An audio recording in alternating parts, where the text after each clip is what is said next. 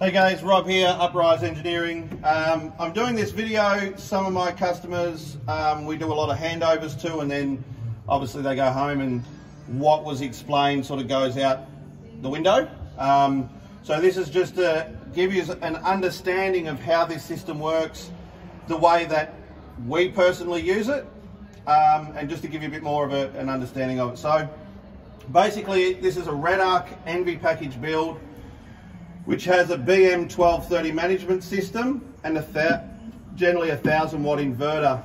Uh, this is a 1500 watt inverter but still the same concept. You've also got a 240 volt install and the management system. Now the BM1230 is a all-in-one type of unit. So it is an AC charger, a DC to DC charger and a solar regulator plus it's the management system. So Really, really good system. Um, how this works is basically in our 240 volt system, as soon as we can plug an extension lead power to the side inlet of the trailer, this will activate the GPOs of the 240 internally. Now, if we've got the BM1230 plugged into the power point and turned on, as soon as we plug power into the side, it's obviously going to activate this that's then going to kick in the AC charger that's built into it and it's going to charge the trailer's batteries.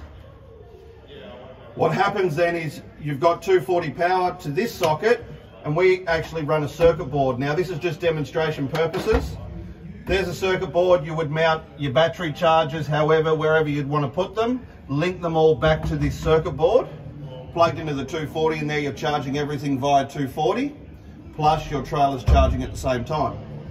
Now, if you're on site and you do not have 240, but you still want to charge all these battery systems, it's as simple as unplug the switchboard with all your chargers in it, and we plug it straight into the bottom of the inverter, switch the inverter on, that will then charge all your battery system, your 12 volt tool system, off the batteries of the trailer.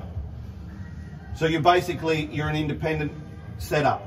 This is a hungry machine, so we're converting 12 volt power to 240 volt power. So this is something you might run for half an hour, charge all your batteries, turn it off.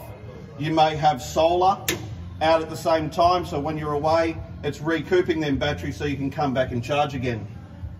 Um, you can drive to the job site while running off the inverter because obviously the car is charging the battery systems within the trailer while then the inverter's using that power. So, apart from that, you can go back to the 240, plug your 240 lead in, everything's now charging. So that's the management system and the inverter, that's how that's, that works.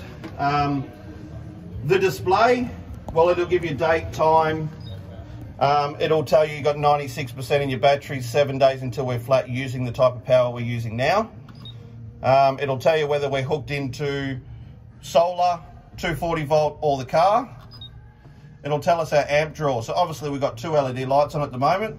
So if I go and switch another two LED lights on, it'll actually raise that up and tell us we're, we're drawing 4.1 amps. Now if I go back, it'll tell me I've actually got three days now until I'm flat using that type of power. And if I start turning lights back off, it'll recalculate that and it'll give me more time. If you keep going down, it'll tell you there's no charge coming in at the moment. We're in touring mode, 12.8 volts in the battery with 13 degree battery temp.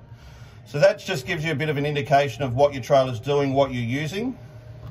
Um, and it's really good to start understanding that as well.